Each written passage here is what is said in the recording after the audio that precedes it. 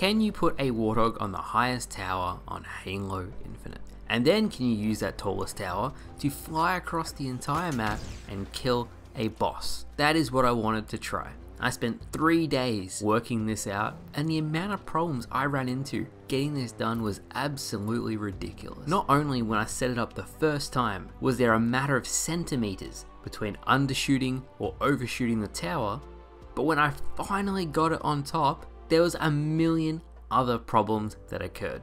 Once I actually got to the top of the tower, I set my two fusion coils down, hoping to fly across the entire map. Problem number one was that the fusion coils don't actually stack together. So even if I add more fusion coils, so I got three here, I carried it all the way to the top of the tower, you won't go any further. Two, once you hit a gap in the island, it'll just drag you down to your death.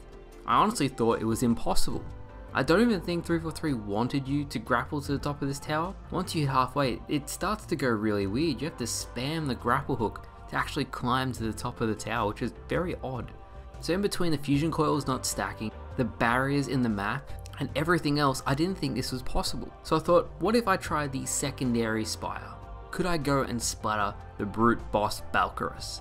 So I tried with the secondary tower, and another problem, now the Warthog disappears. And I was just done. I was completely fed up, I got off of the game and I came back. Day 3, I was like, what if I try one more time and I launched the Warthog from a higher position with the boom skull and the cowbell skull, and I combined them together. I launched from a different platform, and thankfully it didn't despawn, and I got the Warthog back on the second tower. Now I still need to sort out two very big problems. Actually getting the distance and making it very accurate. If you can't replicate it and make it accurate, you are never going to hit your target.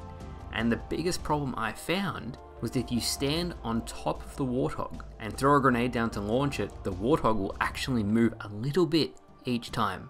Now you're thinking a little bit, that's not going to make too much of a difference, but when you travel 1.5 kilometers, 1500 meters across the entire map, it just makes it so random that you're just praying for the best, and that wasn't good enough. I'd already spent three, almost four days trying to hit this damn guy, or just fly across the map with it. So I was like, what if I do this? What if I throw it straight up into the sky, then it won't move and fly across the map that way? I actually set a marker and then use that marker to correct how far to throw the plasma grenade up and use that as my measurement to get the distance perfect. Again, it was a matter of centimeters. By putting the fusion coils slightly underneath the Hogmore, I was able to get more velocity from the explosion, and after days, absolute days, this happened.